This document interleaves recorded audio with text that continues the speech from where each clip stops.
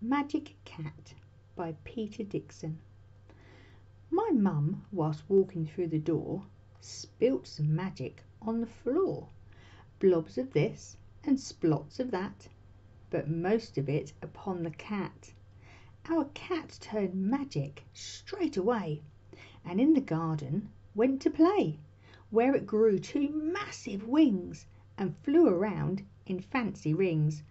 "Oh, look!" Cried mother, pointing high, "I didn't know our cat could fly." Then with a dash of Tibby's tail She turned my mum into a snail. So now she lives beneath a stone, And dusts around a different home. And I'm an ant, and dad's a mouse, And Tibby's living in our house.